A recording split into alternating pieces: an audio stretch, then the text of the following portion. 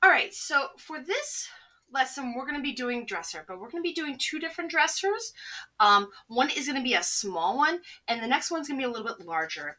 So how we're going to do this is we're going to build similar to the ones that we did this, but we're going to build the back one first before the, the front one. All right, so first thing we want to do is we're going to draw, you know what? Let's make this the larger dresser. Okay. Make this a little bit high. There we go. So we're going to start off with a tall dresser. How we do this is we take this and connect it back to the vanishing point. Okay, this is going to go against the back wall because that's how I want it to fit. It's going to go to this wall. If to this point, if you want to move it down, that's fine. You can draw that back line however you want. It's going to go straight up and now it's tucked in the back wall. Okay, now to make drawers, there is a very simple way that you can do this. What you would do is you line it up straight here. You draw the sides of your doors. Okay, you see how they're all? And now all I'm going to do is I'm going to connect each one slowly going through. Okay, all the way through.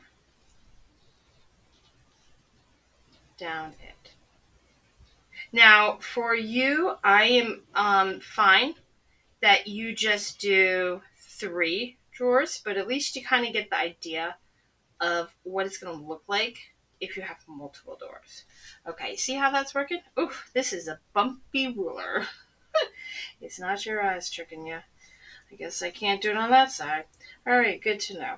Okay, so we have these straight lines. Then all you have to do is put straight line back here. Okay, remember the front line must be parallel with that one. All right, so we've got a little doorknobs on. We have a tall dresser.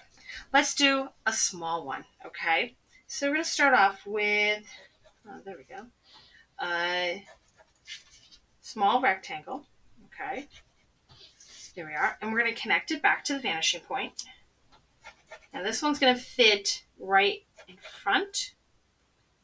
Okay. To go up and over. Okay. Now this one we're just going to put one door in, which is fine. Um, one straight, one down, and we're going to connect it to the vanishing point. Okay. There we are.